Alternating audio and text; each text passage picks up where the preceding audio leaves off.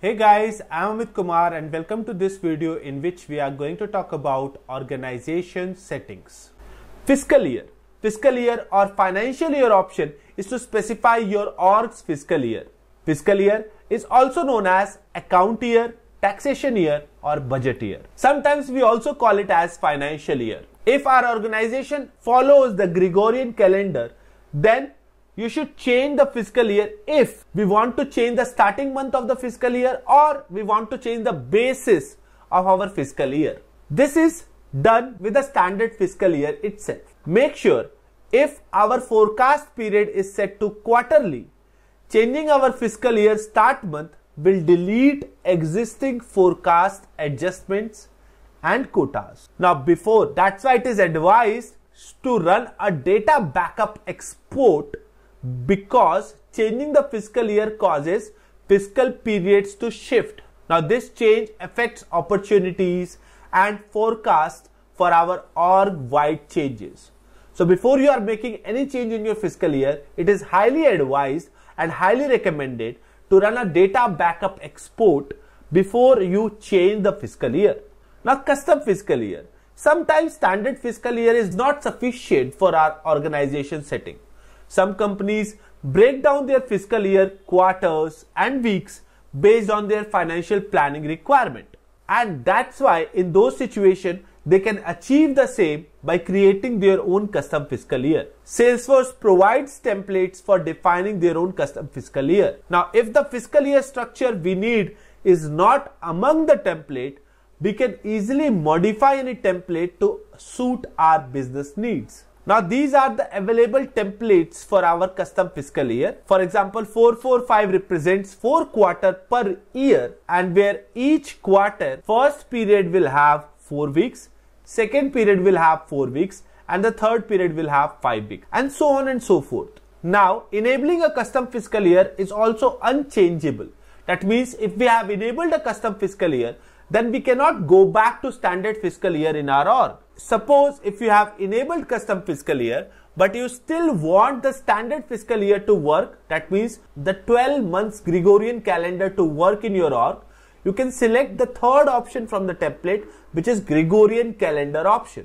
Now there are some points that you should consider before enabling fiscal year. After you enable it, you cannot disable the feature. Fiscal year definition are not automatically created so you have to define a custom fiscal year for each year you are doing the business. Enabling or defining custom fiscal years impact your forecasts, reports and quotas. When we define the first custom fiscal year, all existing forecasts, forecast histories, forecast adjustments from the year's first period forward are deleted. But forecasts for periods before the first custom fiscal year are not deleted. Opportunity list views don't include a fiscal period column. If you create opportunity list view and if you have enabled custom fiscal year, then you will not get fiscal period column over there in that specific list view. When custom fiscal years are enabled, you cannot use fiscal month, fiscal quarter or fiscal year date function in your SOQL queries. Now let's talk about data and file storage. Storage is divided mainly into two categories, data storage and file storage. Where file storage includes files, CRM content, documents tab, custom file field on knowledge articles and site.com assets. And data storage includes almost all the objects whether they are standard or custom. Now other than these, Salesforce also provides storage for big objects known as big object storage. Most editions get 1 million big object records per org. Now big object storage is calculated asynchronously so new records that you have added over there will not reflect immediately. While big object record limits are not actively monitored, Salesforce reserves the right to enforce the limit if necessary. In all editions except personal edition, administrator can view storage usage on a user by user basis. Data storage and file storage are calculated asynchronously and your org storage usage isn't updated immediately. Individual users can view their own storage usage in their personal information section. Now this chart actually tells you the amount of data storage per org, the amount of data storage per user, the amount of file storage per org and the amount of file storage per user depending upon which type of Salesforce edition you are having.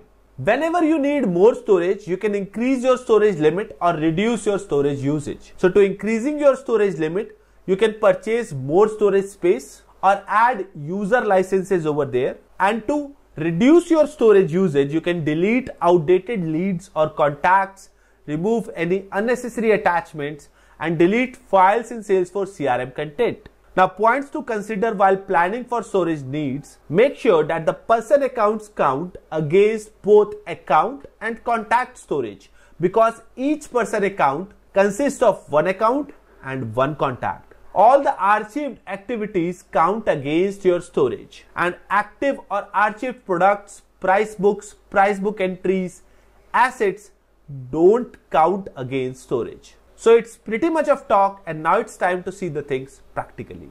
And guys, if you enjoyed the video, please give it a thumbs up and share it with your friends. And if you want to stay updated with proper Salesforce tutorials and want to watch more tutorials, make sure to subscribe to our channel and press the bell icon.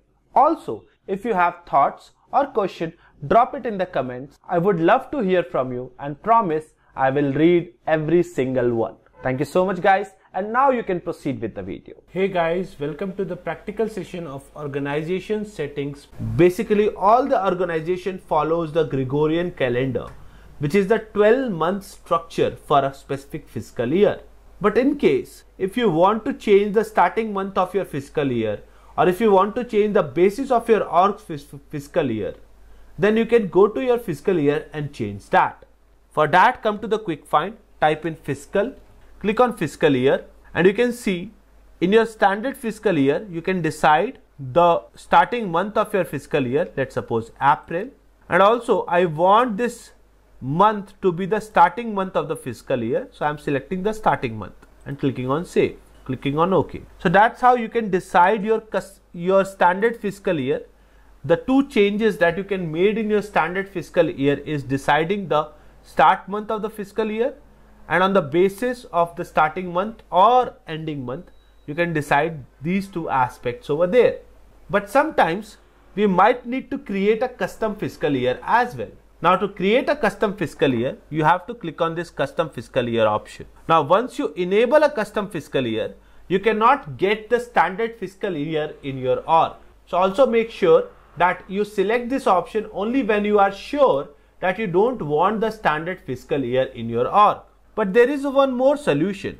Suppose I enabled it and I still want the standard fiscal year to work in my org, then coming back to fiscal year, refreshing it, selecting fiscal year one more time. So I'm typing in the quick find as fiscal, opening fiscal year. So now in the fiscal year option, you won't find anything to enable or disable. So now the custom fiscal year is working over there. Here you can decide the names. So the prefix for your quarter and the prefix for your period the name of your quarter and the name of your period, whatsoever you want to do. Then you can create your own fiscal year by clicking on new and deciding what type of fiscal year your organization is following. It can follow a 445. If you want to choose some other option, you can certainly select that. And in case if you don't want to choose any custom option and go with the standard one, you can select this Gregorian calendar option. Suppose I selected this first one as 445 and click on continue then it will tell me from which specific date I want to start this fiscal year. And also it will allow me to use the name for my fiscal year as well. Other than that, I can go for some advanced customization.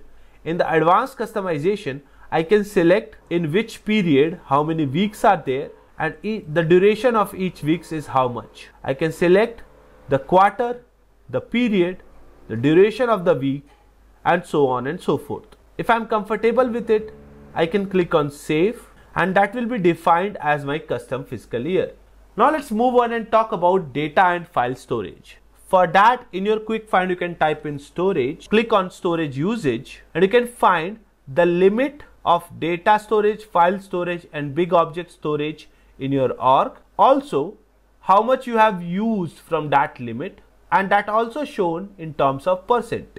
The data storage usage is also shown with each type of object and the records that are available in that object and how much percentage you have used out of the total percentage available for you. From here you can also know about the file storage usage. For example, if you see there are two photos and one content body because you have already used two photos you have taken all the 100% of storage available for your developer edition org. Now you might be knowing that the developer edition org is having very limited amount of storage. Definitely if you will work with other editions, specifically with enterprise edition, you will get more amount of storage over there. From this page you can also know the storage usage according to your individual user like how much storage has been used by a specific user. So whenever you need more storage, you can you can increase your storage limit or reduce your storage usage. Now that marks the end of this video. See you soon in the next video. Till then, thank you and take care.